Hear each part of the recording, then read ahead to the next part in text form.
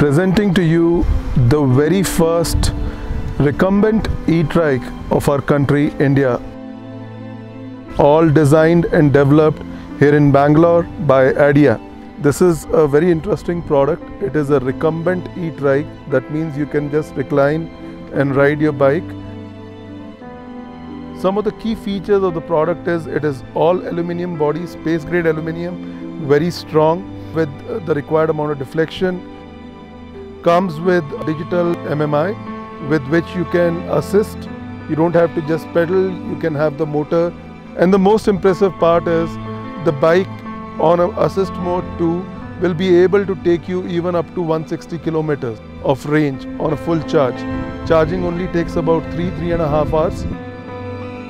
It's got indirect steering for better control.